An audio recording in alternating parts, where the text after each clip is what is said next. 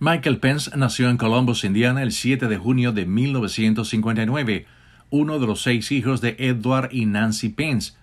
El futuro vicepresidente vio a su madre y a su padre construir una familia, un negocio y un buen nombre. Con el ejemplo de sus padres comenzó un exitoso negocio de tiendas en su pequeña ciudad de Indiana. Asistió al Hanover College obteniendo una licenciatura en historia en 1981. Más tarde ingresó a la Facultad de Derecho de la Universidad de Indiana, donde conoció a su actual esposa y segunda dama de la nación, Karen Pence. Después de graduarse, el vicepresidente ejerció la abogacía, dirigió la Indiana Police Review Foundation y comenzó a presentar The Mike Pence Show, un programa de radio de entrevistas y un programa semanal de asuntos públicos de la televisión en Indiana.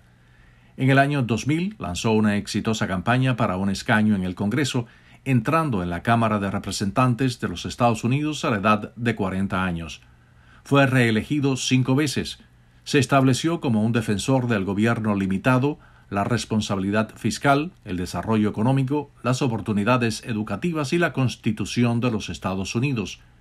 En el año 2013, el vicepresidente dejó Washington para convertirse en gobernador de Indiana. A su administración llevó la misma filosofía limitada del gobierno y los bajos impuestos. Como gobernador promulgó el mayor recorte de impuestos sobre la renta en la historia de Indiana, reduciendo las tasas individuales del impuesto sobre la renta, el impuesto sobre la propiedad personal de las empresas y el impuesto sobre la renta de las empresas con el fin de fortalecer la ventaja competitiva del Estado y atraer nuevas inversiones y empleos bien pagados. Debido a su incesante enfoque en los empleos, la tasa de desempleo del Estado cayó a la mitad durante sus cuatro años en el cargo. El historial de experiencia legislativa y ejecutiva de Mike Pence y sus fuertes valores familiares llevó al presidente Trump a seleccionarlo como su compañero de fórmula en julio del año 2016.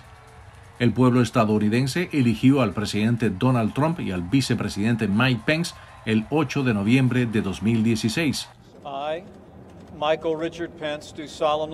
Ambos juraron sus cargos el 20 de enero de 2017. El vicepresidente Pence también acompaña al presidente Trump en la boleta que busca nuevamente la victoria en las elecciones del próximo noviembre.